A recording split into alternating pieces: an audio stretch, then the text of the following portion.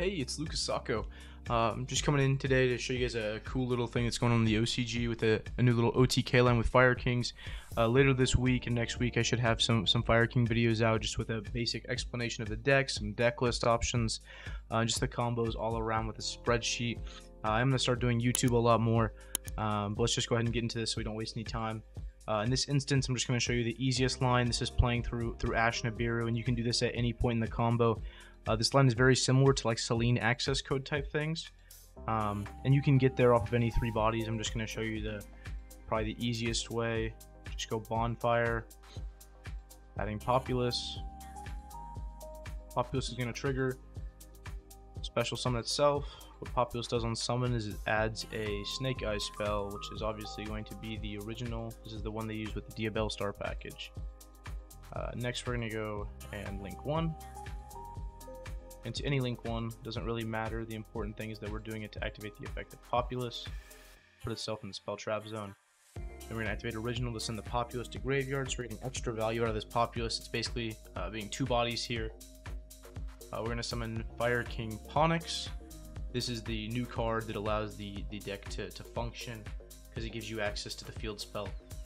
Uh, while also giving you access to the field spell, it gives you access to the new card, Sanctuary of the Fire Kings. And this card is basically just the field spell. It gives you an extra disruption on your opponent's turn. But the main reason it's good is because of its access to the field spell. Uh, then we're going to go ahead and activate it, destroy Ponix. We're going to add Garunix to hand, which will trigger Garunix effect to summon since a fire was destroyed by battle or card effect. On summon, Garunix destroys one from your deck. So you can actually go ahead and destroy Arvata or Kirin here, doesn't matter. If your opponent has something you want to destroy, you can destroy the um, Kirin instead, but we're just going to go for the Arvata so we can show off the bodies there. Oops, a little misclick. Um, now, I'm just going to do this to show the body example. This isn't uh, really necessary to, to take anything with the Hiita. Just doing it once again to show the uh, examples of the bodies and what all we can do with it. So we're going to link into Hiita, take an Ash Blossom. This is just basic link climbing. Think of it as a, a Charmer into Selene. Um, this Selene's going to summon out any fire monster from the graveyard because it's a little bit of a broken card. And uh, normally, if this was Selene, we would just go into Access Code. However, since Access Code cannot be made, since Promethean Princess has a little restriction that says we're locked into fires while it's face up on the field, uh, very similar to Pisty with dragons. We're going to go into Salamangreat Raging Phoenix. Uh, this card has random text involving fires getting destroyed, so it has synergy here, but its main purpose is going to be to be a Zealantis. Zealantis is going to activate to banish all the monsters on the field, including the Nibiru, and then summon them all back. So the Nibiru is going to get special summoned back. We're going to special summon back the Garunix and the Zealantis. Make sure we put this Zealantis in this zone here. That's important.